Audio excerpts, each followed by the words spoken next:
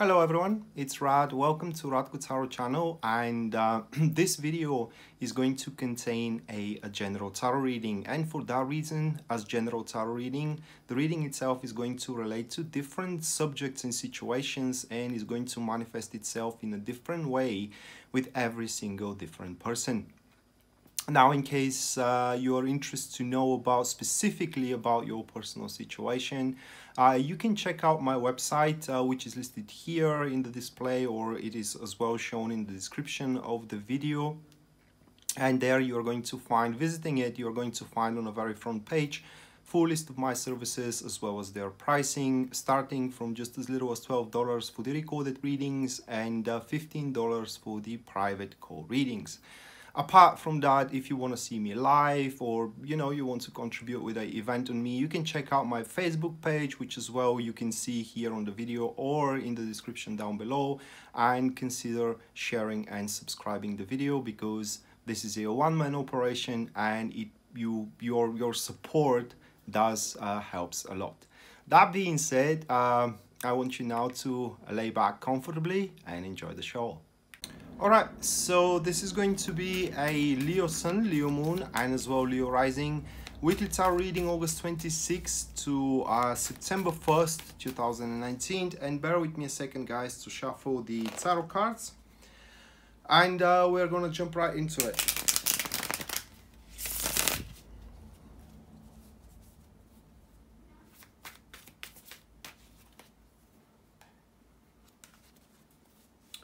Alright, so the first card which stands for the topic of your week is going to be the Seven of Wands, followed by the next card which stands for the challenges that you need to overcome throughout the week. This is going to be the Ten of Wands. Afterwards is going to be the positive aspect of the week. That will be the Five of Cups. And then the last card that we do have for you, Leo, is going to be the uh, guidance that Tarot is offering to you. That will be the Star card. Alright, so on the first glance, uh, in regards to the reading, it does look like that you're to have a lot of things to do. I, I, mean, a lot of responsibilities that you need to take care of to a point where you may feel that kind of these things are get, getting into you and uh, you may regret that you gave your word to certain people or that you taken an obligation to fulfill a certain endeavors.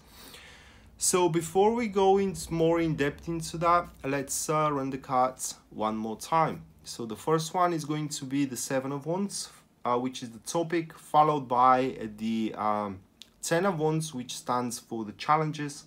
Afterwards is going to be the Five of Cups, which represents the positive aspect. And then the final one is going to be the Star card, which uh, stands for the guidance.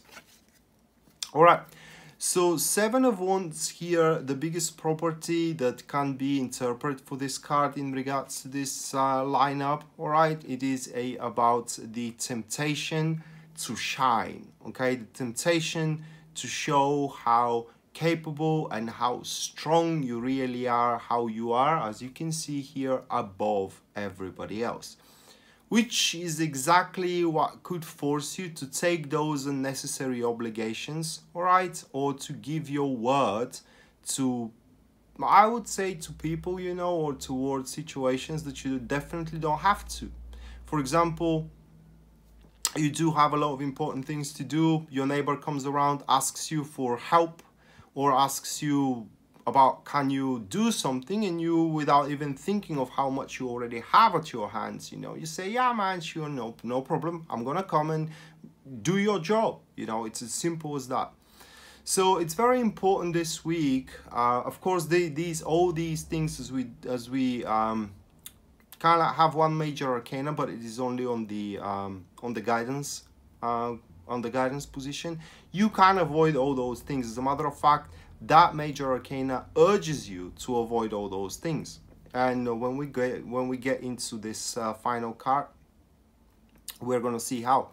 But the thing here is that you have to uh, how can I place it? Um, you know you need to be practical um, in regards to how much time you have at your hands all right and also you need to have that resistance resilience if I may say it that way to um, to temptations in general and to um, that yeah that drive to always be in uh, to always take participation into certain matters. The accompanied card here is going to be the four of swords. The formation it is a active uh, active friends that we do have so uh, with uh, the active friends of the of the four of swords that that card is another testament that you definitely can say no. Because the four of swords represents rather peacefulness uh, having a time to catch up your breath and also um, uh, it's it's about deliberating upon what is what is right and what is wrong right and it's what can be done you know objectively and what cannot be done objectively. So the in my book the way i see that that reading and, and these two cards especially is that you have to be um, pretty much uh, pretty much acknowledging you know how far your capabilities can sprawl because at the end of the day even if you are a sun you cannot shine everywhere. You know there is always a, a, a half of uh, of your uh, of your environment that you cannot put your light into.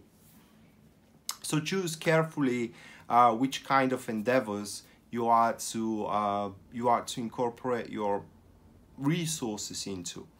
So the challenges here is going to be the ten of wands and that is exactly the busyness right? And uh, that card feeds up the urge one to present themselves capable. Because challenging wise every single thing of those which are um, which are to approach you throughout the week are also going to offer a payback okay for example doing favor for your neighbor your neighbor is gonna owe you one all right doing favor for your boss your boss is gonna owe you one. Incorporating yourself in a certain project, you're gonna earn money.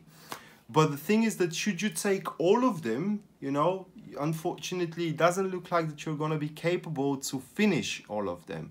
Uh, you're gonna finish even uh, less than than your capabilities allows you to do so. So you have to be very strategic of what kind of um, what kind of opportunities you take because this week is not going to deprive you of opportunities is over is going to overflow you with them. And you have to be like i said careful which one you take under your wing. The accompanied card here it is the knight of pentacles formation. It is the active neutrals that we do have.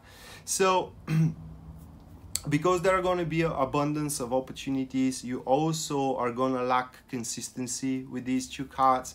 Wanting to take participation in every single one of them you may very quickly lose the track of all of them what stage you are at and what is the best course of action from here. So it is best to to um, focus yourself on one thing on one thing at a time you know instead of trying to shine everywhere just like i said beforehand the next one it is the positive aspect of the week and that will be the five of cups so with the five of cups here you're gonna quickly uh, realize that it is best to focus on what you have to work with rather than what of on what you could have had to work with.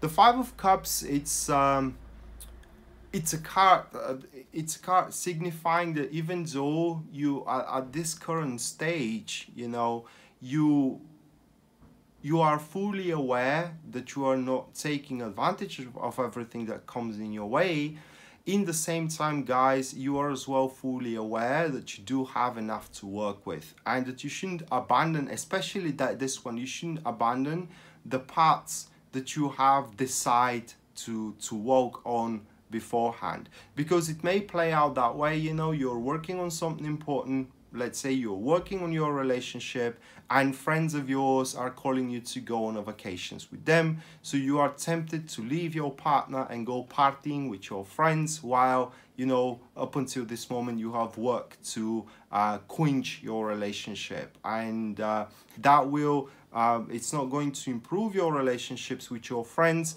and actually is going to have a negative impact upon your relationship.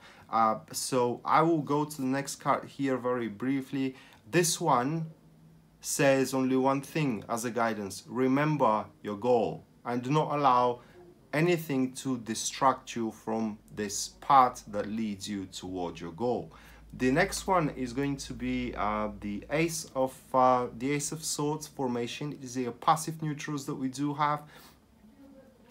So you don't have to even think way too much about it. I mean the right course of action here is going to be pretty obvious to you. Yes you may wish to to be more abundant i would say but for the time being right you have to be you you have to go for for what is certain okay instead of gambling with um, with an opportunity so rather like with options available that they will turn out positive but with a price okay? They may not uh, because like I said, you know, you may have fun with your friends, but on an expense of your marriage or on an expense of your relationship, you know, and, especially with a career, you know, you have an important project at work and you just file for a uh, for a holiday break because you want to go for a week on a cruise or something like that with your friends to to party,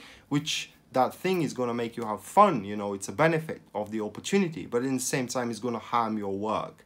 So you gotta you gotta remember you know what is your goal here and do not allow anything to uh, diverse you from it and like we said this is what the last card says. The accompanied one is going to be the four of pentacles here the formation. It is the active enemies that we do have.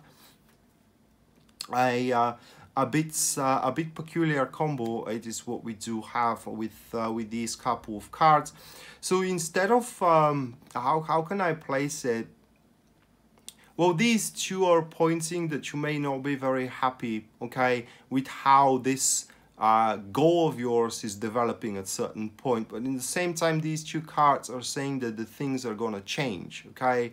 It's just do not dwell way too much upon how how more developed it could have been but work with what you have. In other words do not presume you know and uh, do not concern yourself with what could be concern yourself only with what is and push forward with what you have and that way you are going to maximize your benefits at the end so that being said leo this was your weekly tarot reading september 26 to august uh to uh excuse me august 26 to September 1st, 2019. I hope you enjoyed it and you liked it, guys, and we're gonna see each other around. Until then, bye.